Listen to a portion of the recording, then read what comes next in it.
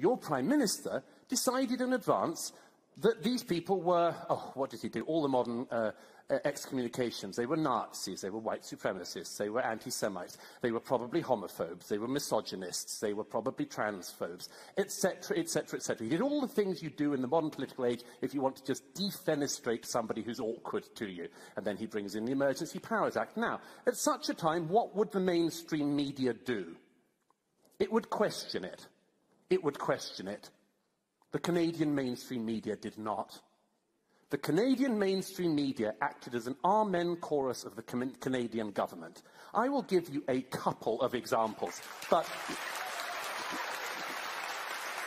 Ladies and gentlemen, I could go on for hours with examples of this. You had a CBC host describing the Freedom Convoy as a, quote, feral mob. You had a Toronto Star columnist saying, quote, sorry for the language, it's a homegrown hate farm that was then jet fueled by an American right funded rat fucking operation. Jesus, they can't even write at these papers anymore. CBC said that two Indigenous women who were so scared to go outside in Ottawa because of racist violence didn't bother to mention that Indigenous drummers had led the truckers in an O Canada rendition.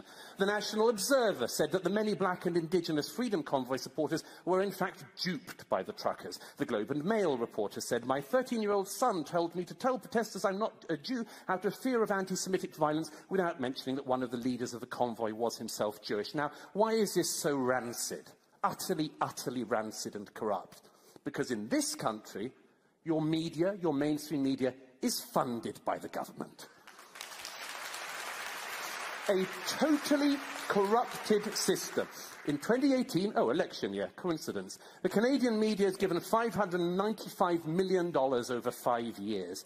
The Toronto Star estimated it was going to be get, getting $3 million from the government in the first half of the year. It went on and on. So you see, the mainstream, the government in Canada can tell people to, to they can tell the banks to shut down people's bank accounts. Oh, yeah. Your government can do that, and if you're happy with that, just think about what would happen if the shoe was on the other foot. The government can